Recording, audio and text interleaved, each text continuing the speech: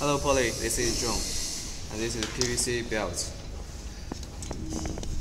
The width is 9 millimeter. And now I will show you how to finger punch it. Okay.